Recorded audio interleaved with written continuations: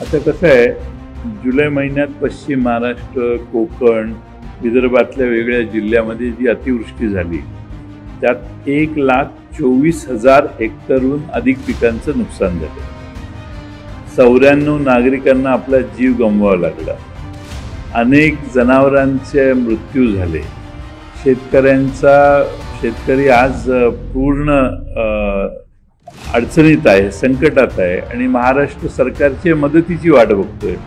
पंचनामे करा आणि लवकर मदत द्या अशा विनंत्या आणि अर्ज व महाराष्ट्रातल्या सगळ्या भागातली अतिवृष्टी जिथं झाली तिथला शेतकरी करतोय.